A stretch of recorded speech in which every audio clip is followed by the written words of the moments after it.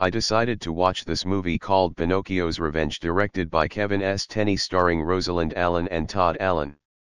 Five years earlier, this guy Vincent Gatto kills his son among some others but is burying this puppet next to his son. Fast forward to present day and this lawyer named Jennifer Garrick brings home this puppet for her daughter Zoe's birthday after it ends up in her chair at work. Zoe starts to really bond with it and then weird things start happening. Accidents start and people are also getting killed too. Everyone thinks Zoe is making this up when she's making it seem the puppet did it. I won't say anything else about the plot but this was a fun low-budget horror film that I was entertained by.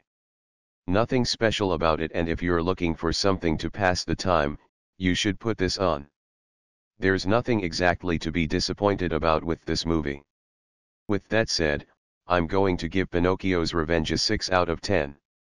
There is my review, you're welcome.